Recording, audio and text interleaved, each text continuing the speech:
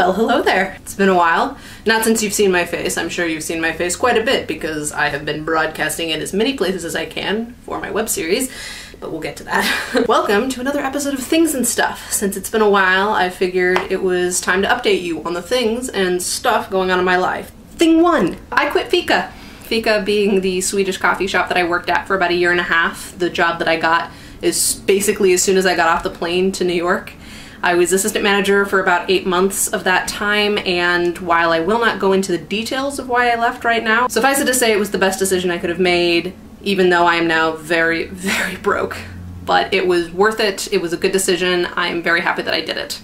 Thing two my MTV internship. Once I quit Fika, one of the first things I started to do was apply to internships, and I got one, partially for myself and partially for my degree requirements for my MFA program. I ended up in the Insights and Innovation section of the MTV research team. I sit in a cubicle and look at like BuzzFeed and Tumblr and try to just find millennial trends and try to pick out why things are getting popular, what's important about them, and potentially what MTV as like a content creation service can do with this information. Can they turn it into a show? Can they use it in an episode of a pre-existing show? On and on and on. It's really, really cool. I love it so much. I thought it was gonna be so boring and it's actually been basically the best thing ever. I have school Mondays and then Tuesday through Friday I have my internship so that's been pretty cool. Unfortunately, despite the fact that it is a paid internship, it's paid significantly less, obviously, than an assistant manager's salary, and I work one less day a week, so I've had to supplement my income, which leads us to thing three. So to supplement my income while I'm interning at MTV, I am freelancing and I sort of pretty quickly landed two long-term gigs. The first is that I write and record listicle like scripts so basically what happens is that the people who hired me send me a topic like X craziest Halloween costumes of all time.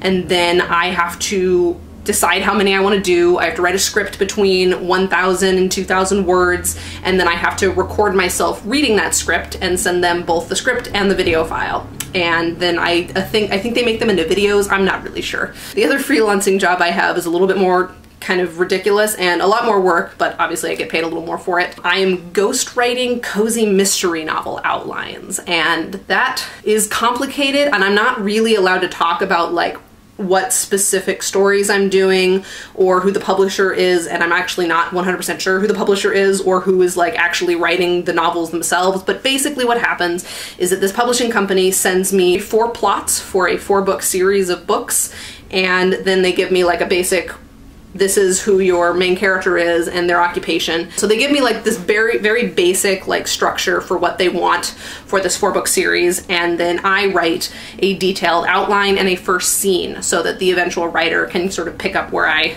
left off and sort of actually write the novel. That is how I'm not dying in New York right now. It's not great or consistent money uh, in any way, but it is, it's enough for now. Thank four. I recently made my Tumblr unsecret. And for those of you who don't really know what that means, since I was, I'm pretty sure actually in high school, I created a Tumblr account under a assumed name so that I could rant about the people in my life but without actually running the risk of them reading it.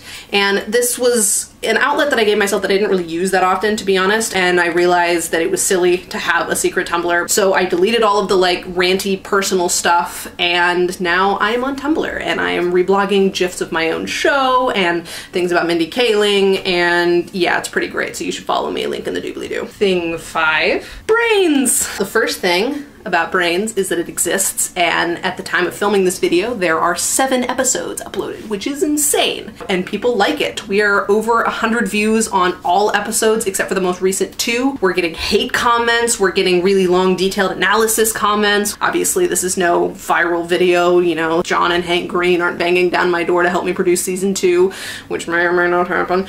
But hey, I have a web series, people really enjoying it. It's a great visual portfolio piece, and I'm so, so proud of this stupid little show. And it's kind of legit now. Thing six, we have an IMDb page and a TV tropes page for brains. Like that is how legit we are. We don't have a Wikipedia yet because Wikipedia is a bunch of fascists who will not ever let me make a Wikipedia page. I have tried so many times, not just for this show, but just in general, and Wikipedia hates me. So I I'm out. If anybody wants to make me a Wikipedia page, that would be super nice of them. But regardless, he thing seven. There's a reason there are so many more things on that wall and why my room is a disaster right now um, is because it is not just my room anymore. It is mine and Quinn's. He moved to New York about a month, month and a half ago, and I am so happy. I'm very, very happy he's here. It's been a fairly seamless transition, to be honest. I thought it was going to be a lot weirder to all of a sudden like go from having a long distance boyfriend to having a live-in boyfriend, but we've been together for almost three years, so we're pretty, you know, comfortable with each other. There's a lot of things going on in my life right now, clearly, um, and this Things and Stuff video only covers like a fraction and like the big things, but there's also billions and billions of other things going on.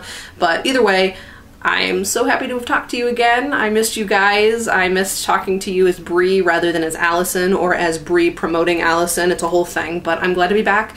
I can't promise that I'll post any new videos in the next month, but I do have my letter to future self that I have to post because I've been doing it for I think three years now, so I'll be posting that sometime within the next month or two, um, and my year in review, which I do every year. So You'll at least see two more videos from me before the end of the year, and of course, we're posting new episodes of Brains every morning around 9 a.m. Eastern Standard Time. We've got three more episodes left in the series, and I'm so excited, and I hope you're enjoying them as much as we are. And if you haven't seen it yet, uh, go watch it. There are links in the doobly doo to everything that you need to know, and yeah, I'll see you soon.